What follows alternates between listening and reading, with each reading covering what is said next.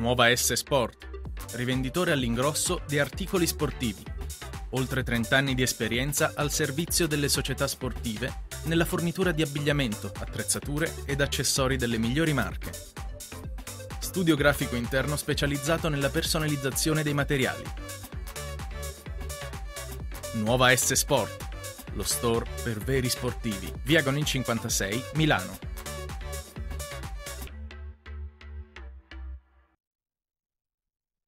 Il programma è offerto da Un tuo neo ha cambiato forma, colore o dimensione? IDE è la soluzione per te. IDE, la pelle siamo noi. www.ide.it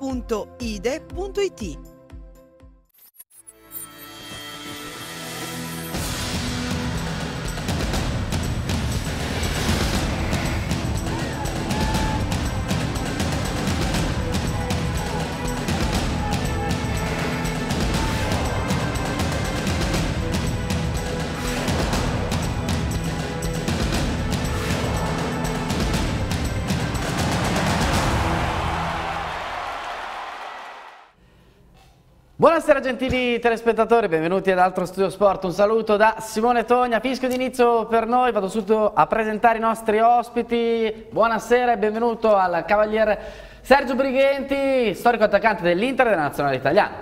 Ah, io sono volentieri anche stato centravanti della Sampdoria. Comunque volevo, volevo, prima di tutto salutare gli, gli, sportivi che ci seguono perché il campionato sta veramente, veramente svolgendosi in un modo fantastico. Ci sono sette squadre che lottano per le prime posizioni, sette. Incerto fino alla fine. Buonasera, un saluto anche a Mauro Corno, Corno scrittore ed editor in chief di Sportal.it. Buonasera a tutti, sono stato centravanti anch'io, ma a livelli infimi, per cui non, non cito neanche le squadre. Beh, però magari una, una coppia Corno-Birghenti con dietro Luca Di Benedetto, ma no? ma molto dietro. Molto dietro perché, beh Luca, ricordiamolo, tu hai giocato a calcio a buoni livelli. Mezzala, dai, mezzala, c'è un regista arretrato. Potresti via. giocare nella difesa del Napoli forse tu. Eh, al posto di, quello... di Albiol però, non di Koulibaly, perché Koulibaly piuttosto. Eh. eh Koulibaly era uno che fisicamente ha messo meglio, eh? Oh, ha voglia.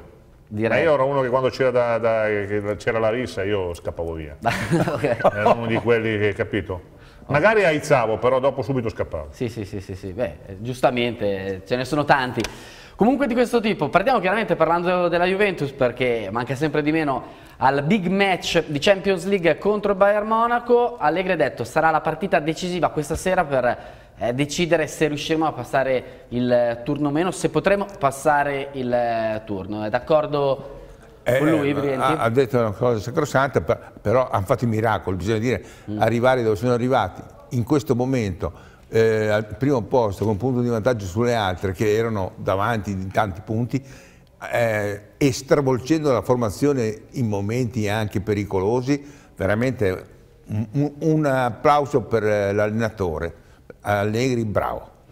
Ecco Mauro, mm, quando sono stati effettuati i sorteggi la Juventus partiva nettamente sfavorita, adesso alcune defezioni da parte del Bayern Monaco e questo grande sprint che hanno avuto i bianconeri negli ultimi mesi fanno sì che invece i tifosi juventini credano e come nel passaggio del turno. Sì, assolutamente sì, al momento del sorteggio le percentuali per la Juventus erano veramente infime, un 10% si poteva dare col passare del tempo, la Juventus è migliorata molto in campionato, ha trovato una quadratura e quindi oggi se la gioca. Ha detto bene Allegri, stasera secondo me non si gioca soltanto per la Champions League ma anche per il campionato, perché se la mm. Juventus dovesse perdere malamente a quel punto credo che metterebbe nuovamente le mani su, sullo scudetto. In caso contrario con uno 0-0 che lo, lo stesso Allegri vede come un risultato positivo e questa già la dice lunga perché tu comunque giochi in casa, quindi sì. magari un gollettino potresti anche pensare di farlo, invece ti accontenti di, di chiudere a reti inviolate, eh, a quel punto rimarrebbe anche il campionato da giocare per queste settimane e poi si vedrà. Luca, lo 0-0 sarebbe un buon risultato e ha ragione Lam, Lam ha detto non ci sono favoriti 50% ad entrambe le squadre. Beh, oggi nel calcio moderno lo 0-0 in casa, nelle partite di Coppa viene considerato un ottimo risultato. Una volta eh, ricordavo De Esisti tempo fa che negli anni 70-60 quando giocava in Coppa si puntava a vincere, a fare più gol di tutti in casa per poi dopo andare là e magari fare le barricate. Oggi invece lo 0-0 viene considerato un risultato positivo. Io credo che non sia decisiva la partita di oggi. Quando giochi su 180 minuti, eh, 90 non sono mai decisivi, a meno che non fai tantissimi gol, non ne prendi tanti. E allora sì, eh, se no altrimenti sarebbe... Eh, non, è, non è così insomma.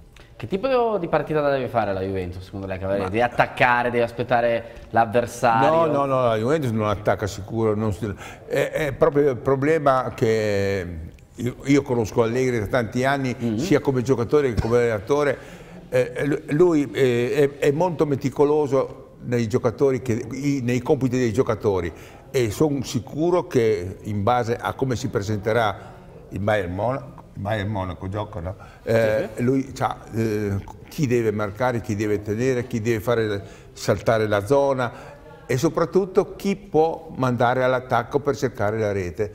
Questo è il problema, è un, è un gioco secondo me più a tavolino che in campo. E tra l'altro a proposito di tattica, lo stesso Guardiola Mauro ieri in conferenza stampa ha spiegato come la sua squadra giocherà in modo leggermente eh, diverso rispetto al solito, chiaramente proveranno a segnare eh, più gol possibili, ma ci si deve aspettare un qualcosa di nuovo. Ci dobbiamo sì, credere?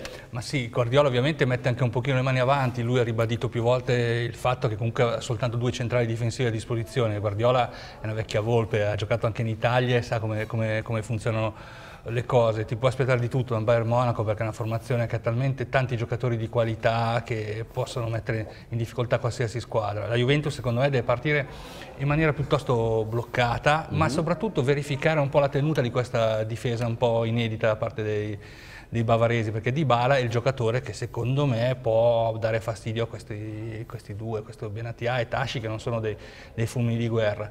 È chiaro che poi con il passare dei, dei, minuti la Juventus si renderà conto se è di fronte a un Bayern Monaco pericoloso o un Bayern Monaco disposto anche a giocare a sua volta coperto. Il, il, rischio veramente è che sia una partita bloccatissima quella di stasera, è un mm classico 0-0 in cui comunque... Ci si gioca tutto al ritorno? Eh, sì, che appunto come diceva giustamente lui, uno 0-0 per la Juventus sarebbe anche un risultato eh, non, non, negativo contro una squadra che comunque è più forte. Beh, chiaramente poi rimarrebbe eh, tutto aperto. Luca ti chiedo, Di Bala potrebbe essere eh, l'uomo decisivo, come diceva Mauro, per quanto riguarda la Juventus o magari ci si deve aspettare eh, qualcosa anche dai centrocampisti perché sappiamo che no, Allegri le prepara in modo minuzioso queste partite e magari può tirare fuori il classico coniglio dal cappello. Beh, dei centrocampisti quello che può fare gol è Pogba, mm. perché poi Marchisio che fa due o tre gol all'anno, quest'anno tra l'altro ha giocato molto meno e anche fatto meno sotto l'aspetto diciamo, de delle realizzazioni.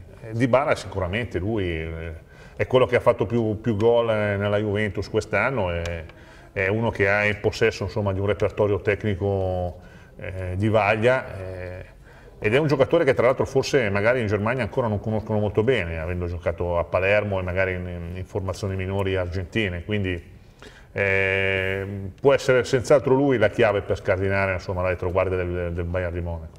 Cavaliere, ehm, le due squadre sono affrontate anche nella, nelle passate edizioni della Champions League, allora c'è qualche similitudine, nel senso che Heinkes avrebbe lasciato al termine della stagione, già lo sapevano tutti in Baviera, forse l'ho detto lo stesso Buffon, eh, la stessa Juventus aveva, tra virgolette, sottovalutato l'impegno pensando che fosse più facile del previsto, poi i bavaresi si imposero per 2-0 a Torino e vinsero anche eh, in casa e al termine di quella stagione poi i tedeschi trionfarono proprio in, in, Champions League. Ci può essere anche questa volta il pericolo, tra virgolette, che si sottovaluti l'avversario e per le assenze perché Guardiola a fine anno andrà a eh, Può esserci, ma però il mm. punto debole dove la Juventus sfonderà mm. sono le fasce laterali. Okay. Secondo me eh, con, eh, con, diciamo così, coprendo le fasce laterali supereranno in velocità perché sono lenti i difensori del Bayern e poi ci sarà il centravanti che se è in giornata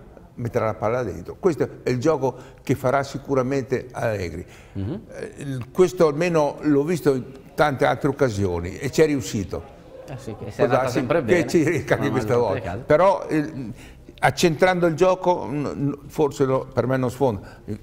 Fa, sulle fasce laterali deve eh, fuggire con... Eh, c'ha dei velocisti, eh, la Juve, quindi il cross, eh, Manduzic eh, lì, lì Anche Manzukic esatto, potrebbe essere decisivo. Mauro ti chiedo Chedira o Vidal perché mh, mm, chiaramente tutti lo sanno ma non è che ne sia stato parlato per così tanto in questi giorni eh, degli ex di questa partita. Da una parte c'è per l'appunto sia Coman che eh, Vidal che hanno vestito e bene la casacca della Juventus e Chedira che è sempre stato vicino al Bayern Monaco e poi invece ha firmato proprio per la squadra bianconera. Ma sai, un, gran, un rientro molto importante quello di Chedira per mm -hmm. la. Juventus, perché è un giocatore di caratura internazionale ed è abituato a giocare le coppe. Eh, venerdì sera contro il Bologna, secondo me è proprio lui il giocatore che, che è mancato al centrocampo bianconero, perché Pogba lasciato comunque da solo, con, con un Marchisio, con uno Sturaro, fa maggiore fatica. Se noi pensiamo anche le, alle recenti vittorie della, della Juventus in trasferta in campionato, c'è sempre lo zampino di Chedira in queste azioni da gol perché è un giocatore di, di livello comunque superiore che non possiamo comunque paragonare per esempio ad uno, ad uno Sturaro. Eh, tornando invece al discorso che facevi prima, secondo me mh, mm, non influirà il fatto che Guardiola abbia già annunciato mm. che il suo futuro sarà lontano dalla, dalla Baviera perché Guardiola si è molto tedeschizzato, se vogliamo mm utilizzare questo, questo, vocabolo, questo neologismo. Mm. Lui è appena arrivato, per esempio, lui si è presentato parlando il tedesco, sappiamo per uno sì, spagnolo parlare il tedesco non è semplice perché comunque sono due lingue completamente eh, differenti e, e il Bayern rimane comunque una società tedesca con mentalità tedesca. In Germania tu ti puoi permettere di annunciare che il tuo allenatore andrà da un'altra parte già a gennaio, in Italia no perché siamo molto più emotivi ed umorali, per cui questo è un fattore che secondo me non va neanche preso in considerazione, questi non sanno neanche veramente chi li allena l'anno successivo che giocano comunque nella stessa maniera. E tornando al discorso di Vidal, invece Luca, se dovessi creare una squadra, prendi Vidal o prendi Chedira? No, prendo Vidal. Poi dipende che, che, giocatori ho in organico, perché se mi serve uno come Chedira, allora prendo Chedira, però dovessi scegliere eh, andrei a prendere Vidal, anche perché è un giocatore a tutto campo che ti garantisce comunque 8, 10, 12 gol all'anno, cosa che Chedira no, non fa, non ha mai fatto. Poi Chedira comunque ha problemi fisici, ha subito gravi infortuni nel corso della carriera, adesso sta giocando con un po' più di continuità quest'anno a, a Torino, ma comunque sempre parliamo di metà stagione all'anno riesce, riesce a giocare, quindi assolutamente Vidal. Cavaliere, secondo lei è meglio la Juventus di questa stagione o invece della, della passata annata? Perché ricordiamo la Juventus passata l'anno annata, scorso... senz'altro okay. migliore, mentre questa stagione per me è miracolata da Allegri e anche mm. Da Marotta che ha trovato molti sostituti, perché una rivoluzione così di Juventus durante l'annata e tenere il campionato ancora in testa era difficile trovarlo, molto difficile. Sei d'accordo Mauro? Sì, sono completamente d'accordo. La Juventus ha perso tre giocatori fondamentali, Vidal, Tevez, ma secondo me soprattutto Pirlo. Pirlo. Pirlo è un patrimonio del calcio italiano, il giocatore che per anni e anni ha fatto la differenza in questa Juventus, quello a cui davi la palla e sapeva tenerla, sapeva dove metterla, quello che risolveva anche le partite con una punizione, insomma un, un autentico fenomeno. Il problema della Juventus all'inizio del campionato è stato proprio la mancanza di, di Pirlo, nella maniera più assoluta secondo me. E tu Luca, ricordiamo che è vero che l'anno scorso la Juventus è arrivata in finale di Champions League, ha rischiato di conquistare il triplete, però anche quest'anno 15 vittorie di fila, poi il pareggio eh, contro il Bologna, finale di Coppa Italia praticamente certa, a meno che non ci sia un ribaltone contro l'Inter, ma si parte dal 3-0 di Torino, quindi anche lì eh, la Juventus eh, praticamente vede la finale. È vero che c'è il Bayern Monaco, è vero che è come se fosse una semifinale, l'hanno detto entrambi gli allenatori, però la Juventus c'è sempre. No, appunto, è difficile giudicare quale squadra fra le due, anche perché siamo a stagione in corso, bisogna vedere se gli obiettivi poi verranno centrati. È chiaro che se dovesse vincere lo scudetto e arriva in fondo alla Champions, probabilmente quest'anno con, con, la rivoluzione che è stata fatta dalla dirigenza e con l'avallo dell'allenatore è sicuramente un'impresa rispetto all'anno scorso che, che, era una squadra sì. già consolidata, anche se poi arrivò l'allenatore in corsa, in corsa, relativamente in corsa, insomma, perché dopo pochi giorni del ritiro. Eh, quindi aspettiamo per giudicare secondo me qual è, qual è la squadra più forte de, degli ultimi due annate. Degli ultimi due anni. Chiudiamo il capitolo relativo a Bayern Monaco-Juventus, anzi a Juventus-Bayern Monaco con un pronostico secco da parte di tutti e tre, comincia con lei Cavaliere. Io pareggio. Pareggio. Mauro? 0-0. 0-0 anche per me. 0-0 infatti è il risultato diciamo più eh, gettonato. Doppio, doppio fischio per noi, torniamo fra pochissimo.